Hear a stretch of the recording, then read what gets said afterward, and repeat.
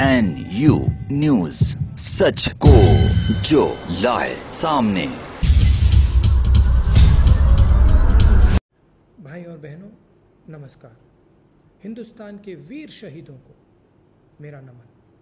पूरा देश मिलकर एक साथ, एक होकर सेना के साथ और सरकार के साथ खड़ा है। मगर एक बहुत ज़रूरी सवाल उठा है। कुछ दिन पहले हमारे प्रधानमंत्री जी ने कहा था कि हिंदुस्तान की एक इंच ज़मीन किसी ने नहीं ली। कोई हिंदुस्तान के अंदर नहीं आया। मगर सुनने को मिल रहा है। लोग कह रहे हैं, सैटेलाइट फोटोग्राफ्स में दिखाई दे रहा है। लद्दाख की जनता कह रही है, आर्मी के रिटायर्ड जनरल्स कह रहे हैं कि चाइना ने हमारी ज़मीन छीनी है।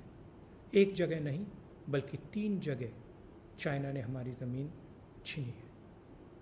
प्रधानमंत्री जी, आपको सच बोलना ही पड़ेगा। देश को बताना पड़ेगा, घबराने की कोई ज़रूरत नहीं। अगर आप कहेंगे कि ज़मीन नहीं गई और सचमुच में ज़मीन गई है तो चाइना का फ़ायदा होगा। हमें मिलकर इनसे लड़ना है और इनको उठा के वापस फेंकना है, निकालना है तो आपको सच बोलना पड़ेगा। बिना घबराए, बिना डरे आप बोलिए कि हाँ, चाइना ने ज़मीन ली है और हम कार्रवाई करने जा रहे हैं। पूरा देश आपके साथ खड़ा है। और आखिरी सवाल। हमारे जो वीर शहीद हैं, उनको बिना हथियार किसने भेजा और क्यों भेजा? धन्यवाद। जय हिंद।